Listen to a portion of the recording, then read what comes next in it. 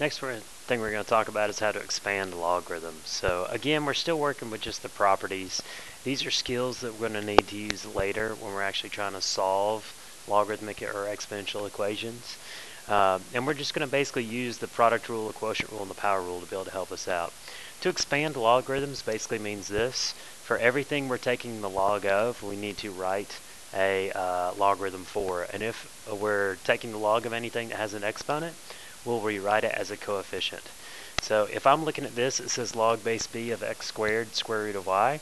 In my mind, there's actually three things we're taking the log of.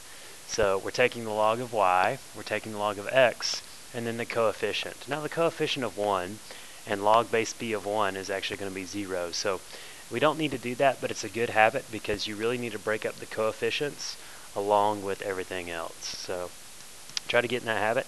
So what we'll do is we'll say the log base b of x squared and log base b of the square root of y. Now what I'm going to do is like we talked about is I'm just going to go ahead and rewrite that uh, square root as an exponent because again we want to see the connection between logarithms and exponents so uh, I'm not going to leave it as a radical but rather write how we can write it as an exponent. Now both of these are in the numerator so both of our logarithms will have a positive coefficient.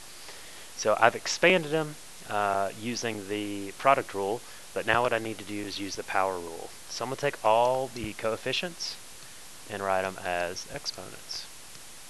I mean, vice versa, all the exponents and write them as coefficients.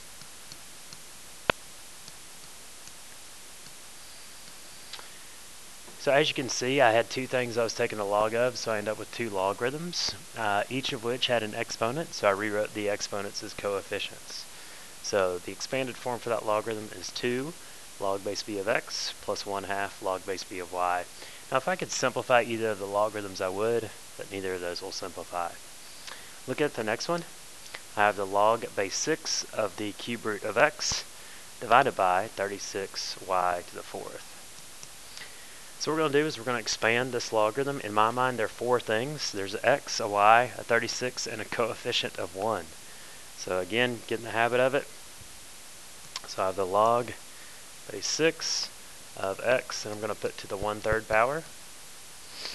And then log base 6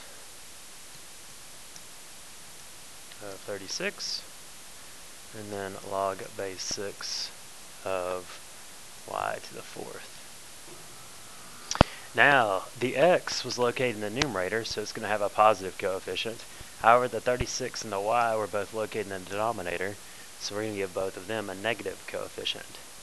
So now what I'm going to do is I'm going to take my exponents and rewrite them as coefficients of the logarithm. So what this will give us is 1 third log base 6 of x. I can't simplify this at all, but if you look at the next one, log base 6 of 36, that can be simplified, just like we did in the last section. So 6 to what power is 36? That answer is 2, so we'll have a negative 2. And then minus 4 log base 6 of y. So that's the expanded form for that logarithm. You can see we wrote a logarithm for everything uh, that we were taking the log of, and we rewrote all of the exponents as coefficients, and we simplified anything that we could in our logarithms.